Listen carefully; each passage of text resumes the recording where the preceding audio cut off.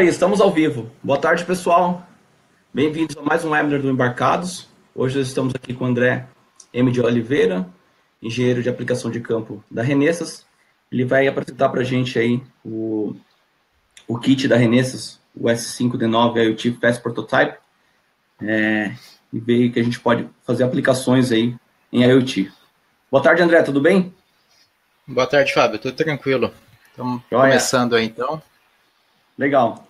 Fica à vontade. Tá ok. Bom, uh, primeiro de tudo, né, o nosso objetivo hoje é falar um pouco da placa, um kit que foi lançado no, no começo do ano, que é o S5D9 IoT Fast Prototyping. Uh, Para quem não conhece a Renessas, tá? a Renessas é uma empresa que foi formada em 2003 com a fusão da Itachi e Mitsubishi. Uh, na época, era, o nosso logo era vermelho, deve ter alguém por aí que lembra disso. E em 2010, a NEC entrou para o grupo, daí nosso logo virou azul. E a gente vem trabalhando aí com microcontroladores aqui no Brasil já desde que tudo começou. Tá? É, eu estou com a Renessas desde 2006 e hoje a gente está no. Eu não sei mais se eu perdi um pouco o controle de que número a gente está no fabricante de semicondutor do mundo, com tantas aquisições que estão tendo aí, mas normalmente a gente está ali entre os primeiros, tá? Uh, então, vamos falar hoje mais da plataforma Synergy e dessa placa.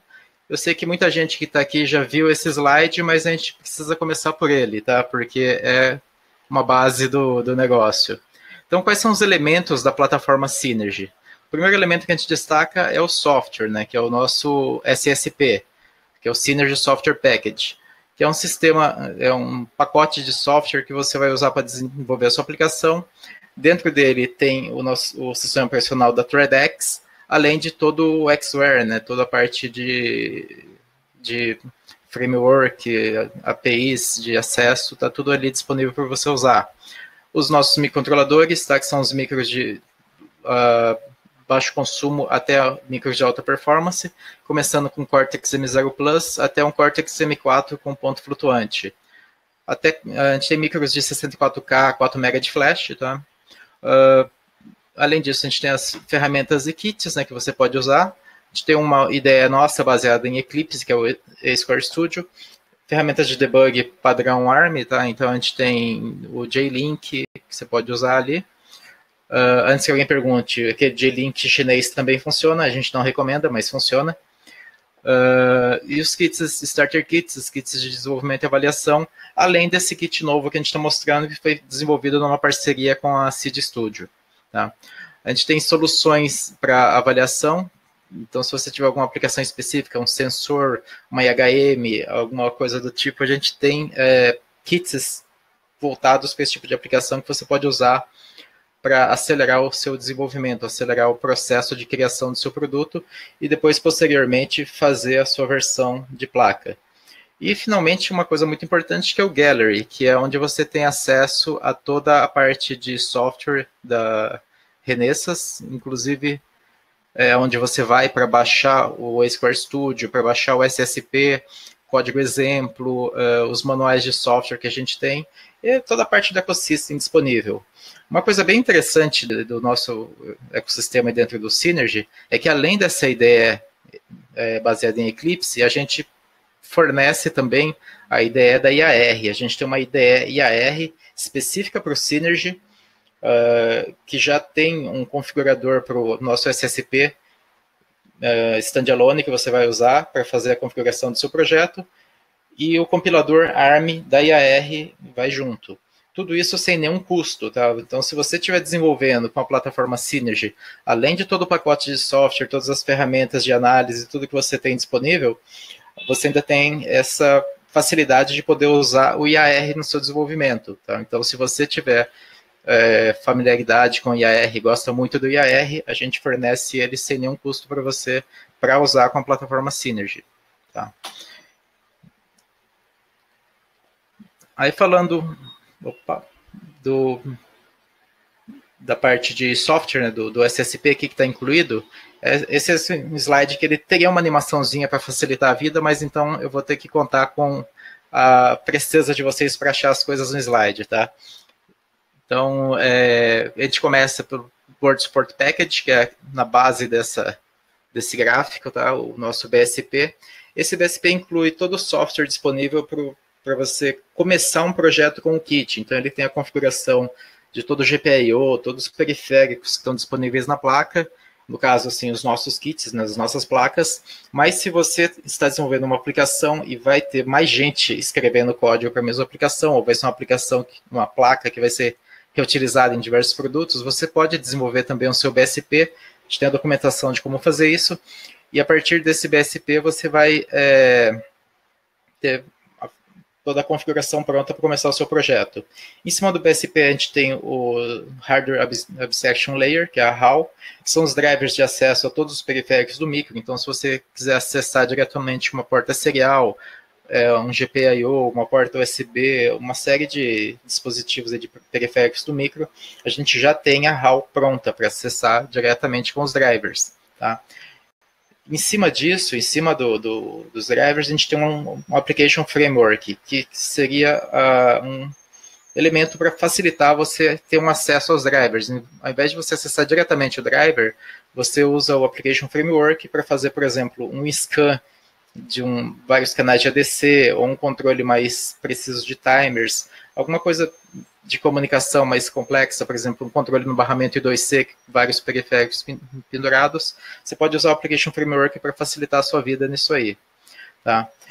Do lado esquerdo, então, a gente começa ali com o ThreadX, que é o nosso sistema operacional, desenvolvido pela Express Logic. A gente tem a licença do ThreadX disponível, né? Então, se você for começar um projeto com Synergy, você recebe a licença do ThreadX e você pode usar no seu desenvolvimento sem nenhum custo. E a gente dá licença de desenvolvimento e produção, além de uma licença de avaliação. Se você não é uma empresa, você só é um estudante, você só quer testar, você pode usar a licença de avaliação sem nenhum custo. E lá na frente, se você for desenvolver um produto, você registra a empresa no Gallery e recebe uma licença de produção. Tudo isso, de novo, sem nenhum custo. Uh, aí a gente tem toda a parte do Xware, né, que seria os pacotes de software incluídos no Synergy da Express Logic, que seria o Filex, que é o sistema de arquivo, o SBX, que é a parte de USB, né? A gente tem o USB Host Device e vários uh, perfis disponíveis. O GUIX, que é a nossa ferramenta gráfica, que você, é, desculpa, nosso pacote gráfico, que você usando o controlador de LCD interno do micro, você vai drivar um LCD que está ali conectado e, obviamente, junto com isso, você recebe o GUIX Studio, que é a nossa ferramenta de desenvolvimento em Windows para você desenhar suas telas e testar, fazer toda a parte gráfica em ambiente Windows, e depois você joga, só joga em cima, compila, e é what you see is what you get. O que você desenvolveu no Windows, você tem a mesma funcionalidade ali no, no na sua aplicação. Depois disso, a gente tem o NetX, o NetX Duo, que é a nossa uh, pilha de Ethernet, tá? Uh, o NetX uh, é, IPv4, o NetX Duo já suporta IPv6. Uh, os dois fazem, você pode usar tanto em Ethernet quanto em Wi-Fi. A gente tem a parte de uh, Wireless Framework nosso, que já contempla Wi-Fi, Bluetooth e modem GPRS, tá? Uh, finalmente, as Functional Libraries, que seria a parte de, de acessórios ali, DSP, enfim, para funções mais específicas, a gente tem tudo que você tem por aí disponível padrão ARM e você pode usar aqui. Em cima disso tudo, você tem os software APIs, que seriam a camada de acesso, né, onde você vai usar tudo isso com chamadas de API direto do seu código, de uma forma bem rápida, bem fácil de usar, tá? Uh, a gente costuma dizer que a curva de aprendizado ali no começo você fica ali um tempinho aprendendo um monte de coisa, mas quando você vai aplicar isso, você vai ver que você, tudo que você aprendeu forma uma ferramenta bem poderosa. Você vai ter muita facilidade, muito recurso disponível para desenvolver a sua aplicação, tá? E, obviamente, você precisa dos micros para rodar tudo isso. Então, aqui só para você ter um panorama rápido do que a gente tem de bem controlador. Então, o nosso menor micro é um, na esquerda aqui o S1, um Cortex M0 Plus. Ele roda 32 MHz, é um micro low power, começa com uma contagem bem pequena de pinos, ali uns 36 pinos, tá? O S3 seria um intermediário, que é um, já é um Cortex M4F. Uh, ele tem, para a parte de interface, só um controlador, um controlador de LCD, vidro, né, um glass, então você pode colocar um seu LCD e controlar ali por segmentos. Uma coisa bem interessante desses dois micros é que eles trabalham em 5 volts, então se você nunca viu um Cortex M4F funcionando em 5 volts, eu te apresento aqui o nosso S3. Uh, e logo depois a gente tem um S5, que seria já o micro de alta performance, e conectividade, onde eu já tenho Ethernet, controlador de LCD e CAN, tudo disponível. Todos eles já têm USB, tá? então se você precisa de USB, você pode usar qualquer um deles. E aí o S7 seria o top, aí, que é um Cortex M4F rodando a 240 MHz, com controlador de LCD, duas portas Ethernet, duas portas CAN, enfim, tudo que você imaginar tem disponível no S7. Tá? Então essa seria seria um panorama geral aí dos micros. E vamos falar do assunto de hoje, que é a nossa placa, né? Vamos lá. Então, o kit, né, o Fast Prototyping Kit. Esse aqui é a, foto dele com os periféricos disponíveis, tá? Essa versão que está mostrada na foto é a versão que eu chamaria assim de mais completa, tá? A gente tem duas versões dele, Uh, no caso, você compra uma ou outra na Seed Studio, que está disponível. É a versão prototyping, ou faz prototyping kit, mas eles têm a opção de te vender também a opção do uh, Module Board Layout, que eles colocam algumas coisas diferentes aí na placa. Tá? É, nos próximos slides a gente vai explicar essa diferença. Mas o principal que você tem aqui, então, você tem um micro, né, um S5D9, é, um Cortex M4F rodando a 120 MHz, 2 MB de flash, 640K de RAM. Tá? Nossa conectividade principal aqui é via Ethernet, tem um conector RJ45, tem uma porta USB que pode operar como device, como uma porta de comunicação serial, ou é, como Mass Storage, que é o, o, código que eu vou mostrar depois aqui, quando você conecta ele no, no seu laptop, no seu computador, essa placa aparece para você como um flash drive, como um mass storage device.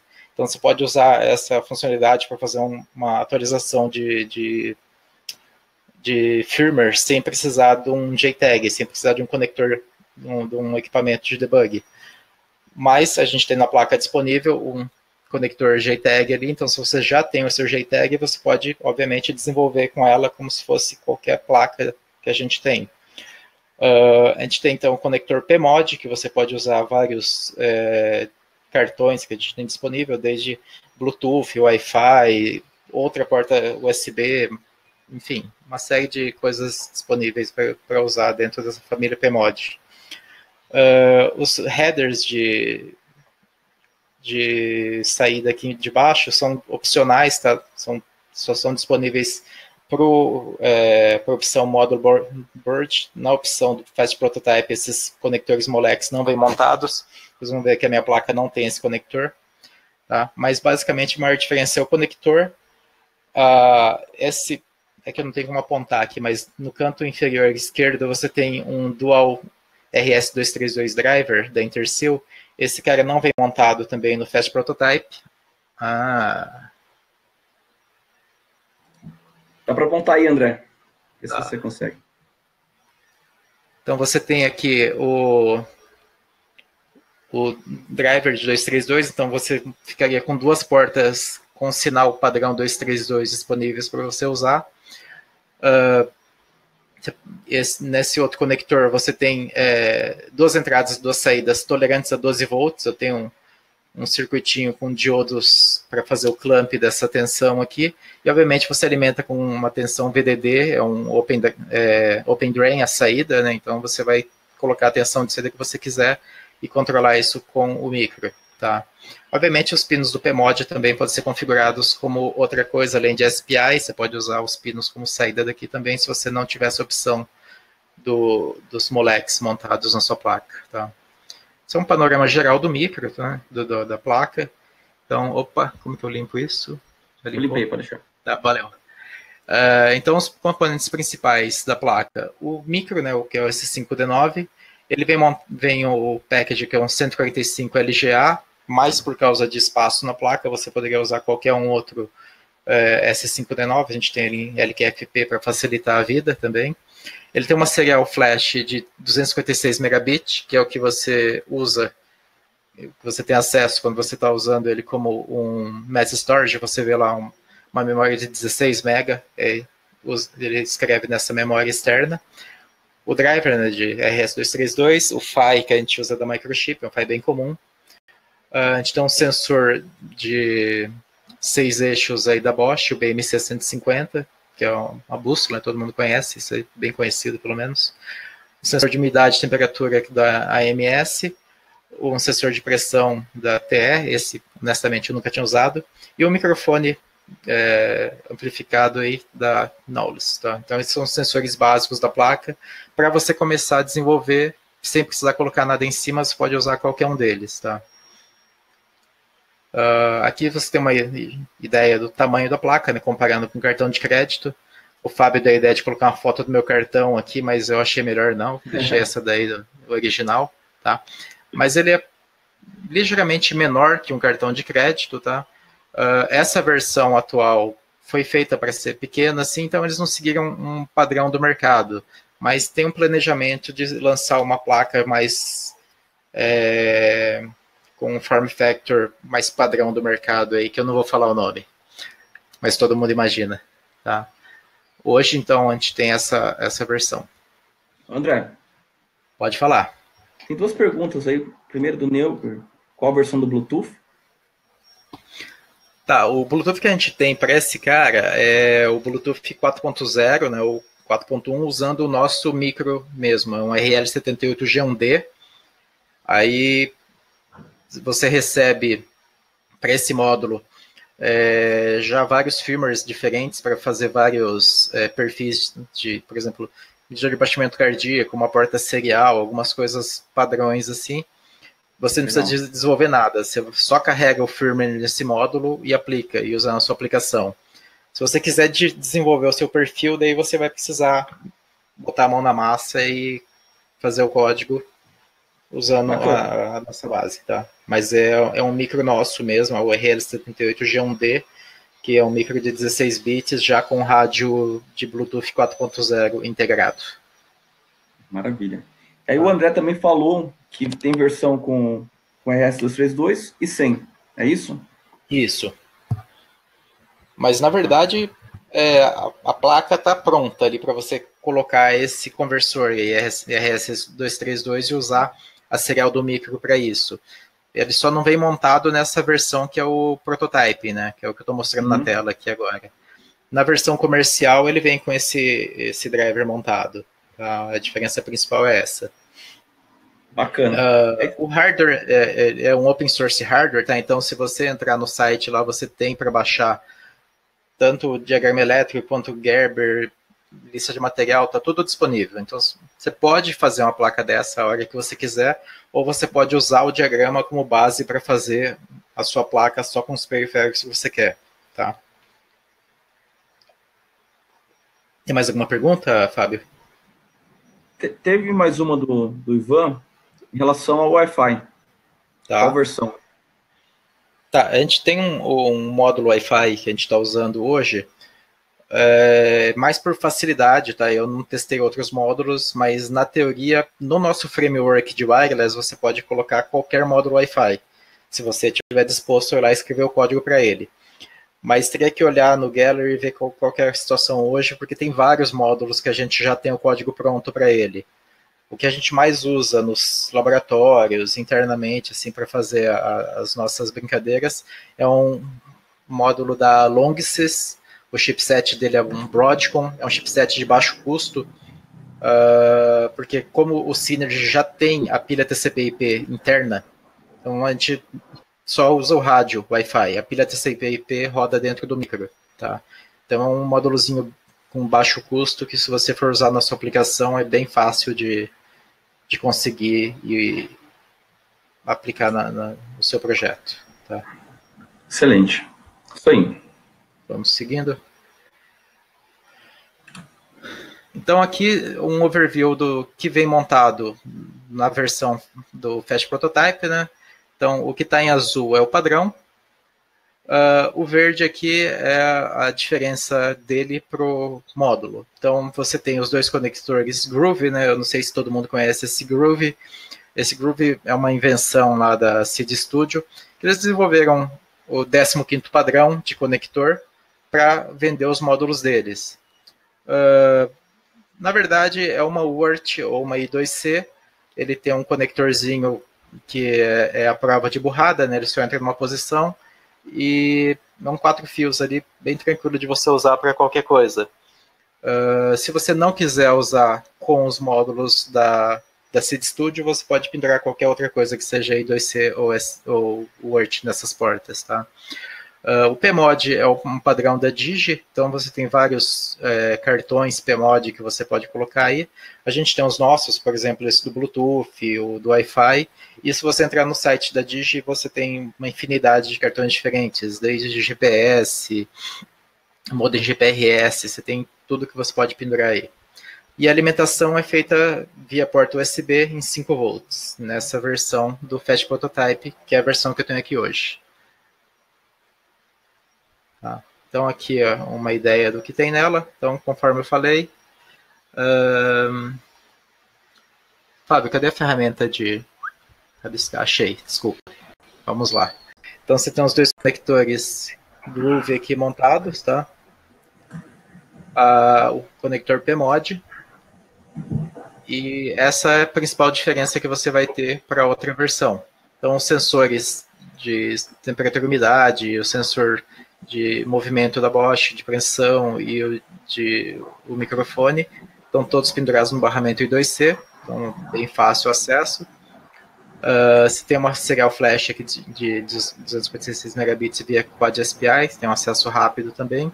USB e o JTAG, tá? Então, obviamente, nem todos os pinos desse micro estão sendo utilizados, mas é para a ideia da aplicação dele, já é o suficiente, tá? Opa, não fui eu. Aí o, a versão módulo, né? O principal, que é a diferença, são os, as duas portas RS232, tá? E os uh, via um Molex, o da esquerda, e as duas entradas e duas saídas digitais no Molex da direita.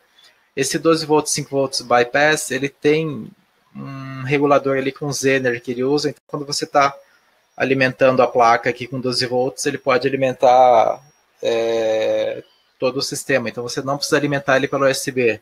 É mais uma diferença aí quando você está indo para uma aplicação industrial, né? Você vai pendurar isso em algum lugar, você não vai ficar com isso em cima da mesa só piscando LED. É bem interessante você não alimentar só pelo USB. Tá? Então é o diagrama de, de bloco dele. A diferença principal, como eu falei, é o driver, né, 232, você vai ter duas portas 232 aqui, e as quatro entradas e saídas alimentadas aqui com é, tolerantes a 12 volts, e você pode alimentar direto com 5 volts aqui via, a, via o PMOD, tá? Via o Molex, desculpa. E você não tem o PMOD e os conectores Groove nessa placa.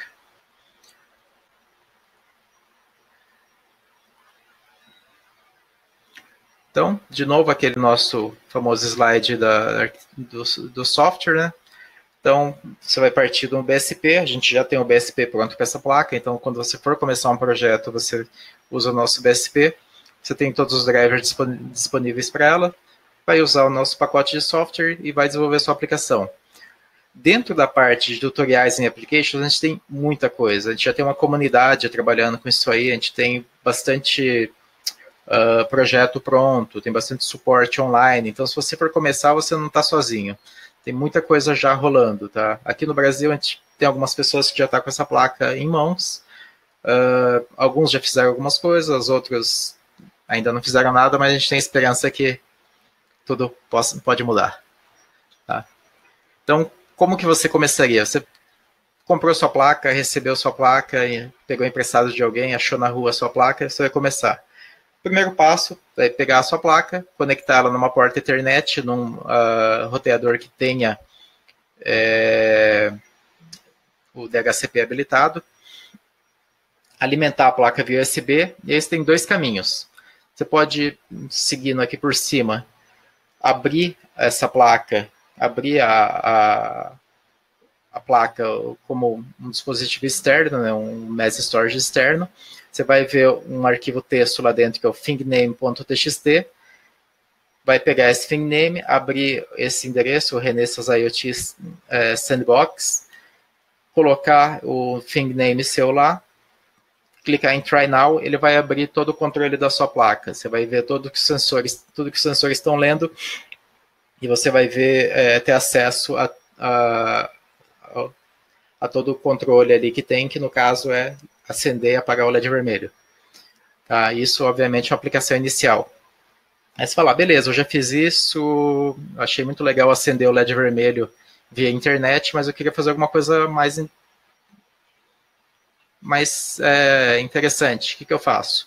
Vai aqui no IoT Sandbox Tutorial. Aí você vai ter uma série de tutoriais de como utilizar essa placa com esse código, sem mexer no código dela, para acessar esses periféricos e tomar decisões na sua plataforma na nuvem, usando scripts feitos em Python. Então você vai ter um workflow uh, baseado em Python, que você pode ler o valor de um sensor, você vai ter um threshold para acionar alguma carga, mandar uma mensagem, mandar um e-mail, fazer alguma coisa na sua tela baseado no que você está lendo dos sensores, tá? Então, você vai montar tudo isso dentro do, do sandbox da Renessas, tá? Toda, toda essa nossa aplicação é baseada num parceiro nosso que é Medium One, eu não sei se alguém, alguém aqui já usou, mas é, é bem interessante porque depois que você conhece, passa a ser bem intuitivo, não é tão complicado de usar. Até eu já consegui fazer, então vocês vão ver que é bem bacana. Quem tiver a oportunidade de testar vai gostar. Então, é, por que, que a gente, a gente fez essa parceria né, com a Seed Studio para desenvolver essa placa? A, a, a Seed ela já tem uma certa flexibilidade né, para fazer manufatura de pequenos lotes. Então passa a ser interessante, eles já têm toda a parte de componentes é, diversos lá disponíveis. A gente só entra com os nossos componentes mais específicos e eles vão montar a placa. Eles já têm os acessórios disponíveis, é, eles já têm o marketplace todo estabelecido, toda a parte de delivery, né, fazer todo o shipment internacional e o suporte online para quem precisar.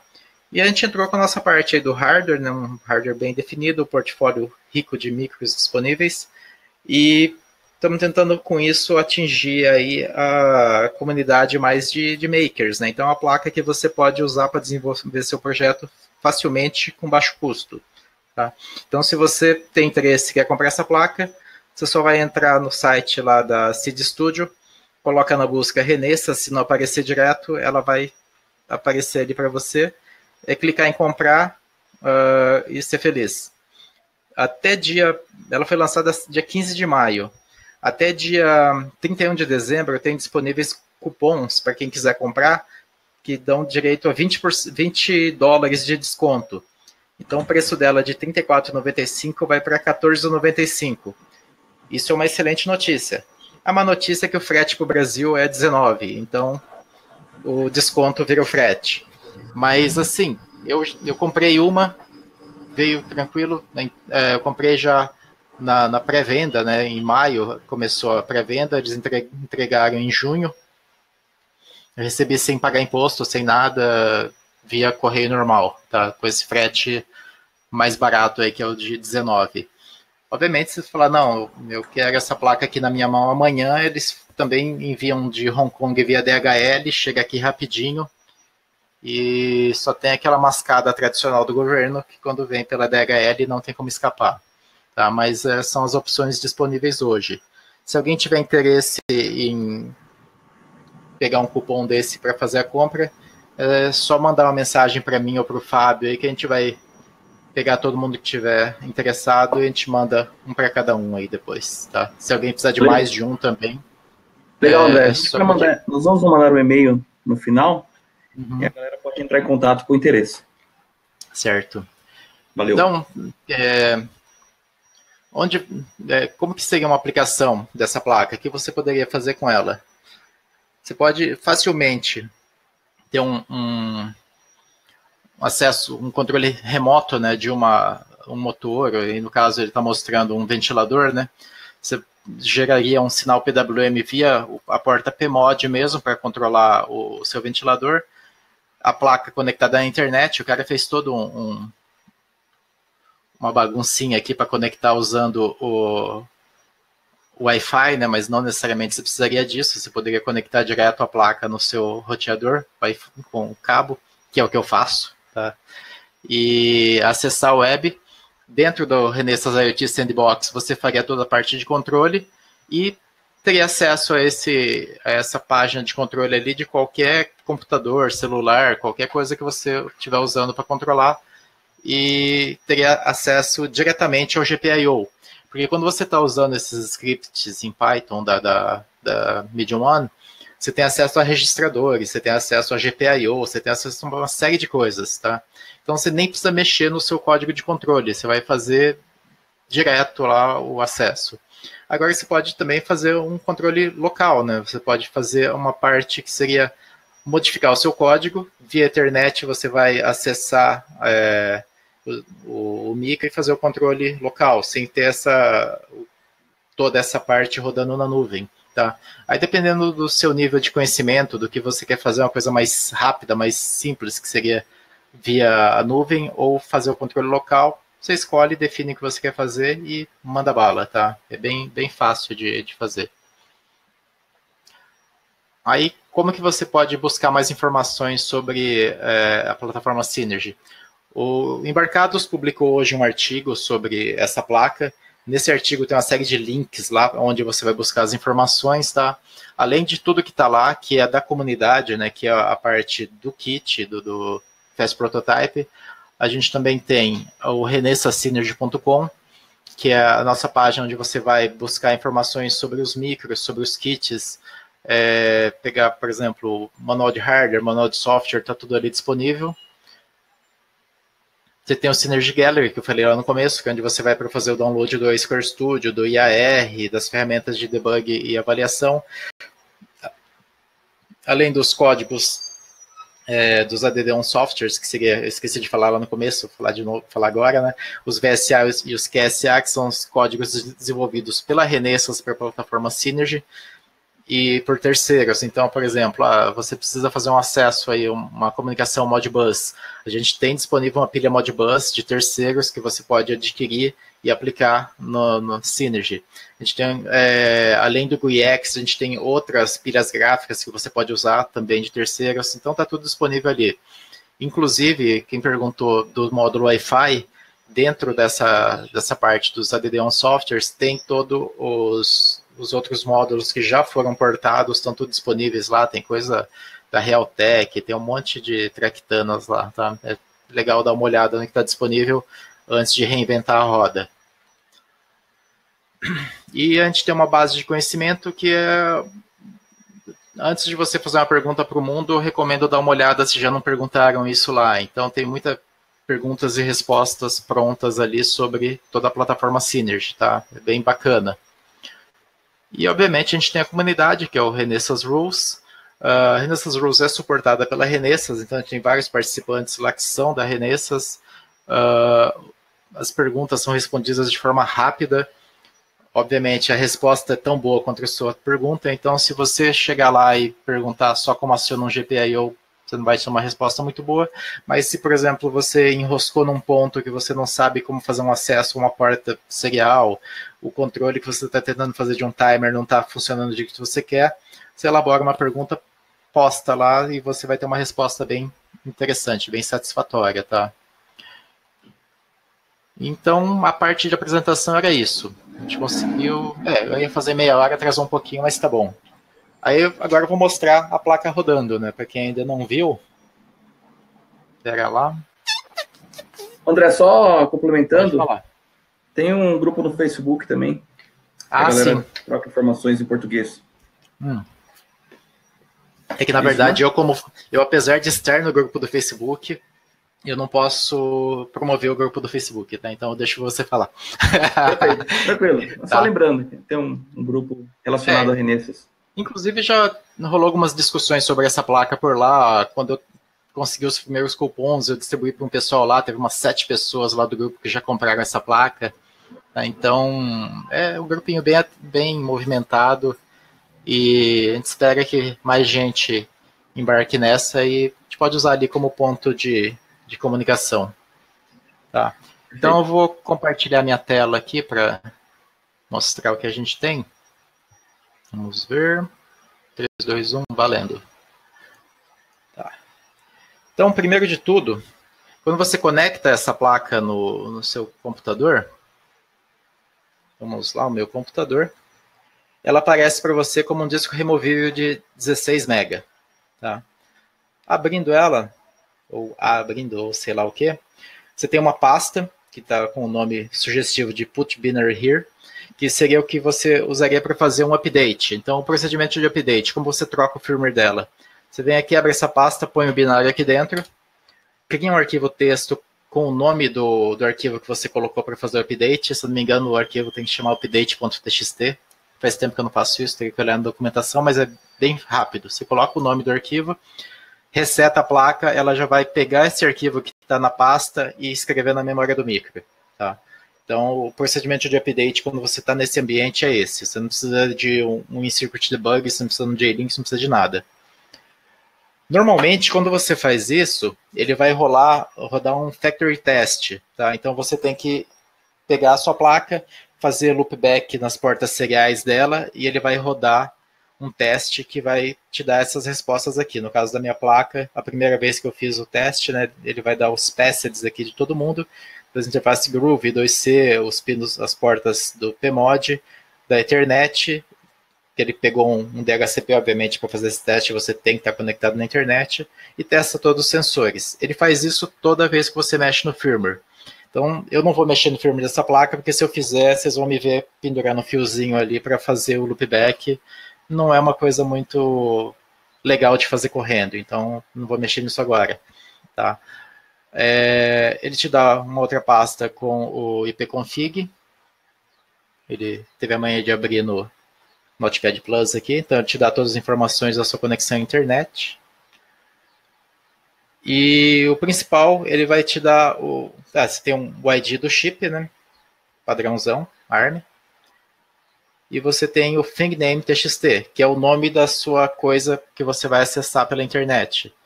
No caso aqui é o S5D9 3F31, essa é a minha placa.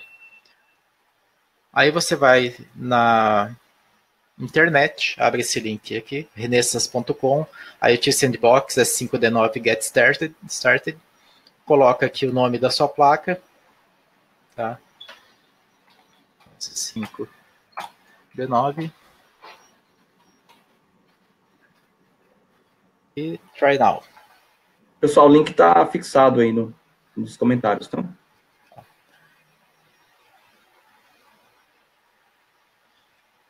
Então ele vai conectar na placa. Eu espero que vocês estejam fazendo a mesma coisa aí. Eu já tinha um aberto aqui, eu vou fechar. É, alguém já acendeu o LED, tá? Alguém já está lá. Então eu vou colocar a imagem da, da placa aqui do lado. Beleza? Então aqui você tem um LED, você clicar nele, se mais alguém clicar vai bagunçar, mas beleza, acendeu o LED. Você tem um sensor de temperatura, um magnetômetro, então eu tenho um maravilhoso imã aqui, eu vou dar uma bagunçada no magnetômetro. Tá? Acelerômetro, sensor de ruído, se a gente ligar um, alguma fonte de áudio aqui, ele vai pegar barulhos. Tá? Então esse aqui é o, o básico da placa. Quando ela chega para você de fábrica, ela vem com esse firmware.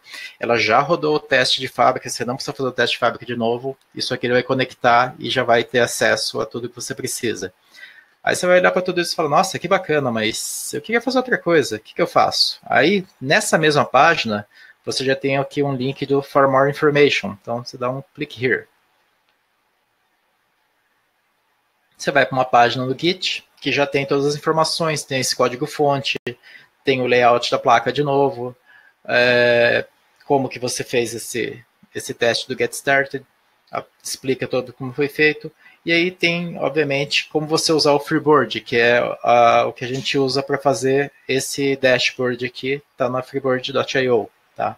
Então tem as informações de como foi feito, Você pode fazer um clone disso, você pode modificar a sua, você pode mudar como que está é, feita a sua tela, criar a sua tela, e obviamente você vai fazer isso na sua conta, né? Mas é, é bem tranquilo, tá? Você pode alterar e adicionar o que você quiser, tá? Aí você fala, ah, beleza, mas que mais que eu posso fazer? Como que eu modifico o resto? Aí a gente tem um outro site que é o learn.iotcommunity.io, que também é suportado pelo Renessas, tá? Aí lá você vai ter um monte de tutoriais disponíveis para a plataforma Synergy, um monte de é, projetos testados. Normalmente você consegue falar com o dono do projeto, então se você tiver uma dúvida, você tentou fazer e não deu certo, você pode ir lá perguntar para o cara, pô, eu fiz tal coisa, não tá bonito, não deu, não ficou igual ao seu. E ter uh, um suporte ali da comunidade, tá? É, o que eles estão mais em voga hoje é adicionar voz, voz nos seus projetos, né? Que é ele ouvir o que você está perguntando e jogar para um para a Amazon, né? Falar com a Alexa ou falar com o Watson, é uma coisa que está bem em voga lá, todo mundo quer fazer, tá? Uh, a aplicação que a gente mostrou no final daquela da apresentação, que é o cara, ah, mas como que eu controlo o motor lá, usando a porta do, do PMod? Então o cara tem um tutorial lá mostrando como que ele fez essa modificação para fazer aquilo. Pino PMod que ele usou, ele baixou o código, obviamente, modificou o código, usou o PMod, gravou é, copiou o código nosso, né? Ele tem uma opção lá no Square para dar um rename import, importou o projeto lá na pasta dele do El Guapo, colocou o DC Motor Drive, modificou o projeto adicionando um timer para fazer o controle do PWM, configurou o PWM, é, alterou o código para ter acesso ao SPWM, ele fez de forma local, né? Ele posta aqui todo o código que ele usou e a modificação que ele fez no dashboard do IoT Sandbox para usar o blinking rate do, o, da página para alterar o dead cycle do PWM, tá? Então é tudo bem mastigado, bem fácil de seguir, dá para você testar. E obviamente, se não der certo, você volta o firmware original e não estragou nada. É bem, bem tranquilo. Se não ligar 127 volts na placa, tá tudo resolvido, tá? Aí tem, obviamente, outros projetos né, disponíveis, tudo dentro dessa página do Medium One, tá? Então, se você é, procurar lá o renessasblog mediumone.com, tem vários tutoriais disponíveis para essa placa já, tá? Esses tutoriais estão listados lá no, no artigo que o Embarcados publicou, então você pode começar por lá também, enfim, é, é, tem vários sabores aí, várias coisas que dá para você fazer. E obviamente você fala, pô, mas só dá para brincar com isso? Eu não posso fazer um negócio diferente com essa placa? Por coincidência, eu tenho aqui uma outra placa. Deixa eu fazer um. Eu não sei se tem alguém ainda na página aqui do Freeboard, mas eu vou desligar essa placa aqui, tá? Só um segundo.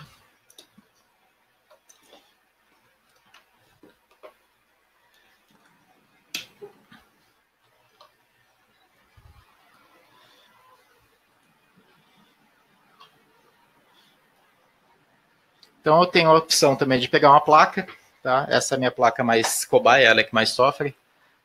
Eu tenho um J-Link, conecto, opa, foco, conecto direto na porta do J-Link.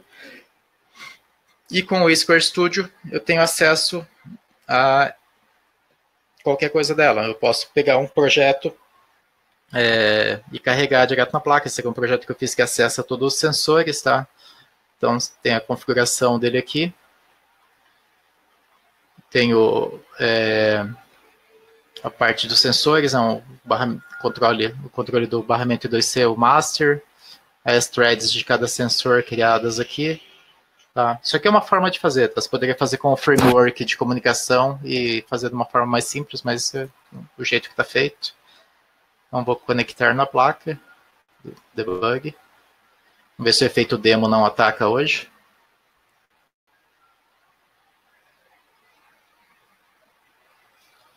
A placa está lá. Está rodando. Eu tenho um tela térmica, estou conectado na USB ali. Deveria estar, pelo menos. Opa.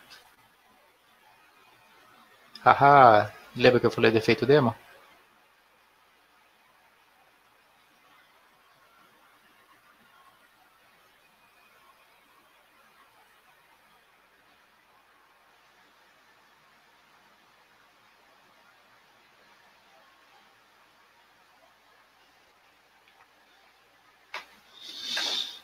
Bom, disfarça.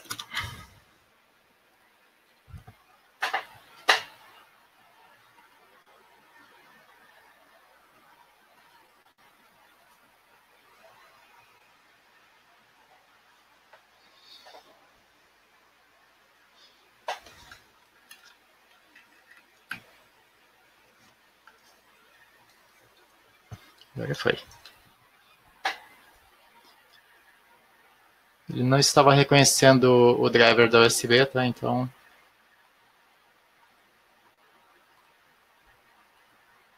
Coisas do Windows. Então, estou conectado aqui na placa via USB. Tá? Vou deixar aqui embaixo. Então, você tem a leitura de todos os sensores, sensores de pressão, temperatura, umidade o acelerômetro e os três eixos do magnetômetro, que são os mais fáceis de ver. Então, pego o imã aqui. Tá? Isso é só um código exemplo. Você pode fazer diversas outras coisas. Obviamente, esse código está disponível na comunidade. Você pode ir lá baixar, testar, modificar. A gente tem alguns laboratórios disponíveis também para como fazer o bootloader para ela, é, como fazer para desenvolver a aplicação e carregar com o bootloader dela, tem tudo disponível, tá? Uh, seguindo. Outra coisa que você pode fazer é falar, ah, não, mas eu quero voltar lá no começo da brincadeira que é piscar o LED. Então você pode também criar um novo projeto para a placa. Colocar um nome bem sugestivo. Você já tem o BSP pronto para ela, né? Então já está tudo é, configurado do que você precisa para ela. Já tem opções de usar só o BSP se você for, começar um projeto sem nada, um Blink só com os timers e um Blink com o ThreadX.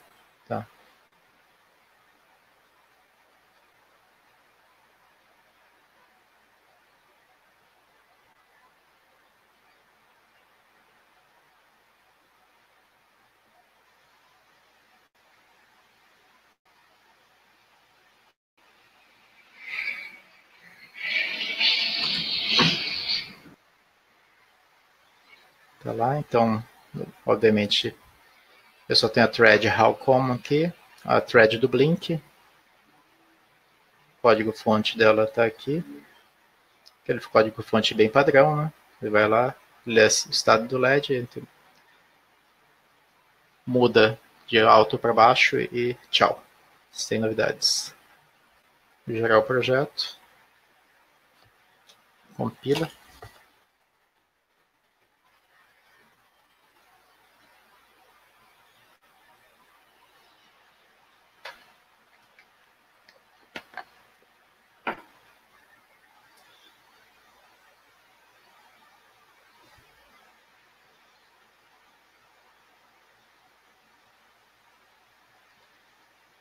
Ele já tem uma configuração de debug que ele monta para você, prontinha, você não precisa nem mexer nela.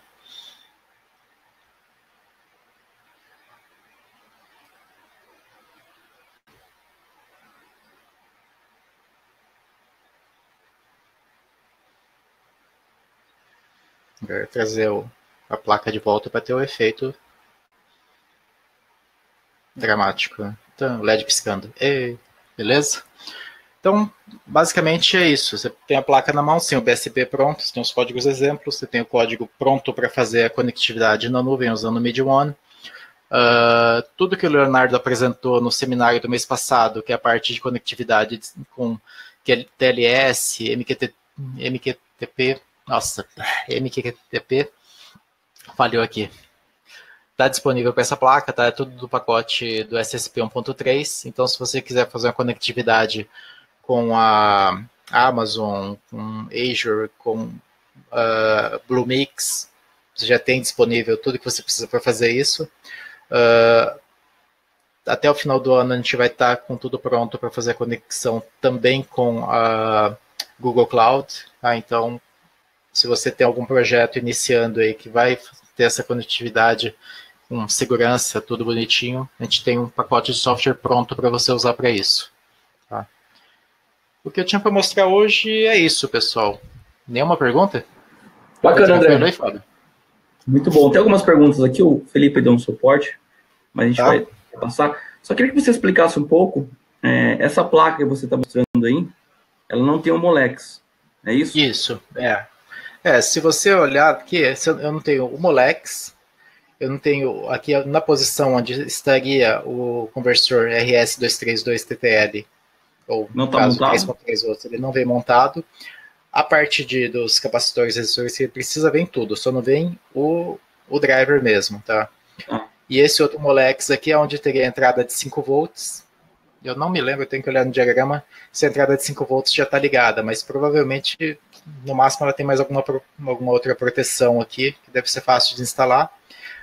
As saídas e entradas que são é, tolerantes a 12 volts, ela precisa de dois chips que vão aqui, que eles não vêm montados, tá? E Legal. basicamente é isso. O diagrama elétrico, como eu disse, ele está tá disponível, né? Então, se você quiser acessar, você tem lá o diagrama elétrico. Inclusive, eu estava olhando o part number desses caras que não vem montados. Então, essa aqui dá é a saída. Dá para soldar, né? Se quiser comprar e soldar. Dá, também. dá, dá para soldar. É o que eu estava planejando fazer. Eu estava olhando, tem tudo na DigiKey. Bacana. Então, tá vai entrada 5 volts dele, onde ela tá. 5 volts é no pino 1. É, aparentemente os 5 volts dele não tá protegendo. Não, tá. Tem um regulador aqui. Mas certo. não tem nenhuma proteção. Então você tem que pegar esse regulador aqui e ver qual que é o limite de entrada dele para ver. Ah não, já está escrito ali, é 5 volts máximos da USB. É, é o mesmo regulador da USB. Então, é entrada de 5 volts, tá? Não alimentem a placa com 12. Tá, então tem que tomar cuidado aí. Como uhum. o esquemático está disponível, é bom dar uma, uma, estudada aí. É, na verdade, você tem um esquema elétrico, você tem a. Deixa eu achar ele aqui. Então, se você baixar o pacote, ele tem lá o projeto inteiro feito no Altium e só os Gerber files se você quiser mandar fazer a placa, tá? Mas é um micro BGA, né? Então é meio chatinho de você querer soldar ele na mão. Eu partiria do projeto e mudaria isso aí para um, um QFP, alguma coisa mais palatável, para fazer uma versão jabuticaba, se eu fosse fazer. Mas Legal. como eles já estão planejando fazer uma outra versão de placa com, com um form factor mais padrão do mercado, que começa com ah, isso é interessante. Então, de repente, é, é, que esse tipo de projeto não é do dia para noite, né? Então a gente vai ficar com essa placa provavelmente por um bom tempo ainda. Mas uhum. a gente sabe que está na tá no planejamento. Bacana. E você usou um JTAG aí para programação? Sim, eu tenho esse JTAG aqui. É bem interessante, tá? Deixa eu achar minha tela de novo aqui. Esse JTAG é um que a gente chama de GT é, J-Link Lite é da Renessas também, tá? A caixinha dele. Legal. Ele vem nessa maravilhosa caixinha.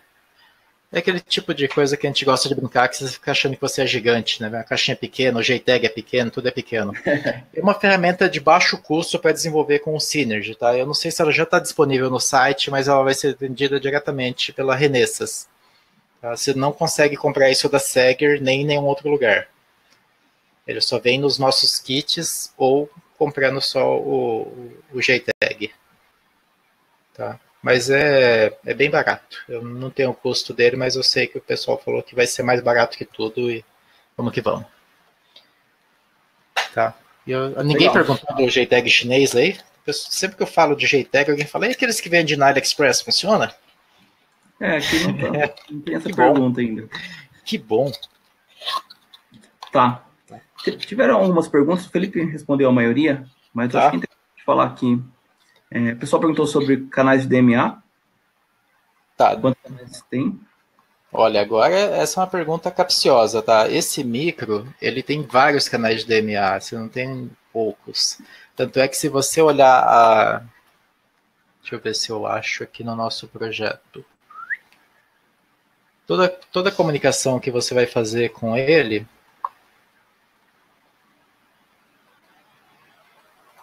Eu não sei se o Felipe sabe decorar ou se o Felipe está com o manual na mão aí, mas se ele quiser tentar ver quantos canais tá. tem o S5D9, depois eu pago uma paçoca para ele. Acho que ele, ele respondeu aqui. ele uma... respondeu quantos tem? É. Mas se você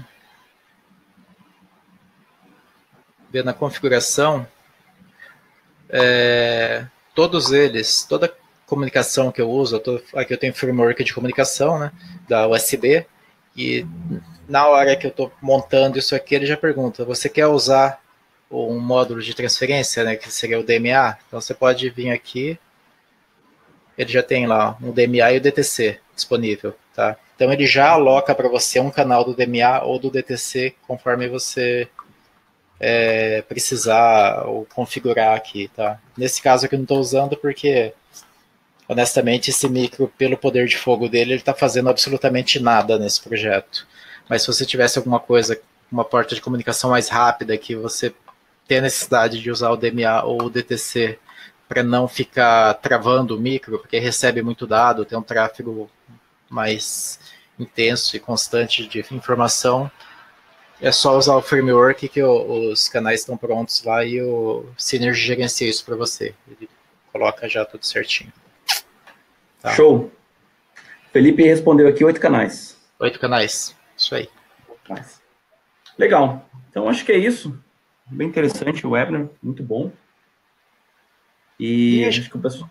Ah. a gente está sempre à disposição, tá? Se alguém precisar de alguma coisa, tiver querendo testar alguma ferramenta nossa, querendo ver alguma coisa diferente, é só falar conosco. Bacana. Então, você recomenda aí o webinar do Léo, né? Que a gente fez. Sim.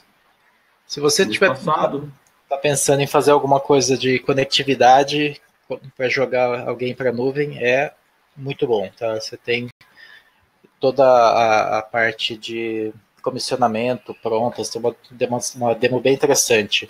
O Thiago estava rodando com essa demo por aí, eu soube que fez bastante sucesso. Muito bom. Tá, então nós vamos mandar o link para vocês no, no, e-mail, tá? Tanto do webinar quanto os links que o André mostrou. Além disso, explicar sobre como conseguir o cupom. Tá? Então, fiquem tranquilos. Vocês vão receber um e-mail até 24 horas. Também os slides, né, André? Você vai disponibilizar Isso. esses slides? Uhum. Sim. Então, bem bacana. Enfim. Fábio?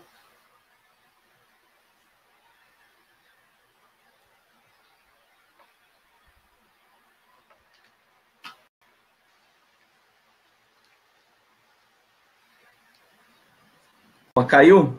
Voltou? Não, tô aqui, tô aqui. Tá, então, acho que foi aqui.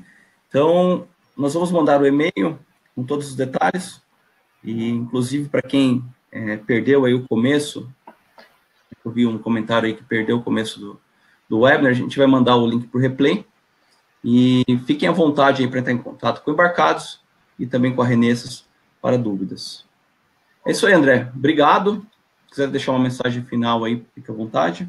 Então, eu que agradeço aí pela presença de todos. Eu sei que é, é bem complicado parar para o que está fazendo para assistir um webinar de uma hora, mas a gente tem também é, outras opções aí, se você quiser conhecer mais os produtos, fala com a gente, a gente tem outras apresentações que a gente pode mandar, tem labs, tem um monte de coisa que você pode usar para começar a conhecer a plataforma Synergy nas horas vagas aí, aquele momento que você está sem fazer nada na opção de assistir o Faustão ou desligar a TV, você pode sentar e fazer um laboratório do Synergy com sua placa, se você já tiver uma na mão, ou a gente consegue uma para você. Beleza? Excelente. Isso aí, pessoal. Obrigado. Boa semana para todos. Abraços. Obrigadão. Tchau, tchau. Um abraço.